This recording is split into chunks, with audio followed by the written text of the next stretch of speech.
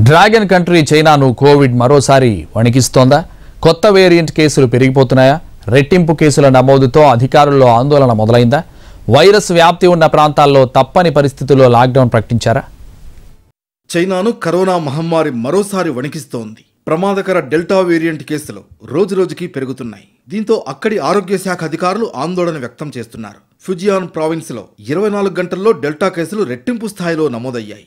అప్రమత్తమైన dragon country ప్రావిన్స్లో కట్టుదిట్టమైన ఆంక్షలు అమలు చేస్తోంది. ఇళ్ళ నుంచి ఎవరూ బయటకు రావద్దని అధికారులు హెచ్చరికలు జారీ చేశారు. ఫుజియాన్లో ఆదివారం ఇరవై రెండు కేసులు సోమవారం మరో యాభై తొమ్మిది కొత్త కేసులు వచ్చినట్లు చైనా జాతీయ ఆరోగ్య కమిషన్ ప్రకటించింది. ఇరవై నాలుగు గంటల వ్యవధిలోనే కేసులు రెట్టింపు సంఖ్యలో వెలుగు చూడడంతో మొత్తం కేసులు నూట రెండుకు చేరాయి. పోర్ట్ సిటీ జియామిన్ నగరంలో గడిచిన నలభై ఎనిమిది గంటల వ్యవధిలో ముప్పై మూడు పాజిటివ్లు నిర్ధారణ అయ్యాయి ఫ్యుజియాన్లో మరో యాభై తొమ్మిది కేసులు వచ్చాయి. దీంతో రంగంలోకి దిగిన అధికారులు వైరస్ వ్యాప్తికి అధిక అవకాశాలు ఉన్న ప్రాంతాల్లో లాక్డౌన్ ప్రకటించారు.